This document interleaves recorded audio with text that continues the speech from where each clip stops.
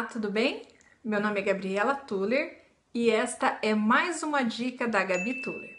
Bem, hoje nós vamos falar sobre a importância do filtro solar em qualquer tipo de tratamento facial. Depois de uma limpeza de pele, de um peeling ou de qualquer tipo de procedimento, a melhor forma de se tratar e prevenir uma pele é utilizando o filtro solar. E existem vários tipos de filtros solares. Mas primeiro é importante que você descubra qual é o seu biotipo de pele para aplicar o filtro solar.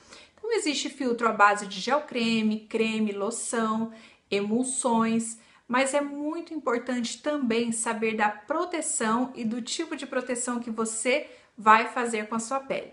Existem dois tipos de radiações que nós temos que proteger a nossa pele, que é a radiação UVA e a radiação UVB. A radiação UVA é aquela que provoca a mancha e também o envelhecimento da pele. Então, por isso, você tem que ter o fator de proteção PPD, que corresponde a mais ou menos um terço do valor da proteção da radiação UVB. Qual que é a radiação UVB? A radiação UVB é aquela que promove a queimadura solar e o câncer de pele.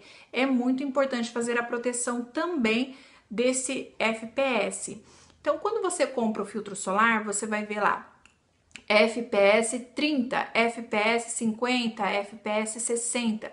Se você for comprar um filtro solar de FPS 60, por exemplo, que protege contra a radiação UVB, você tem que ter no rótulo um terço dessa, dessa proteção UVB. Então, que vai responder ao PPD 20, que vai proteger contra a mancha. Então, não se esqueça, no rótulo do seu filtro solar tem que ter o fator de proteção contra a radiação UVA, que é PPD, um terço da proteção da UVB e contra a radiação UVB. E existem dois tipos de filtros: existem os físicos e os químicos. Eu espero você na nossa próxima dica. Um grande abraço!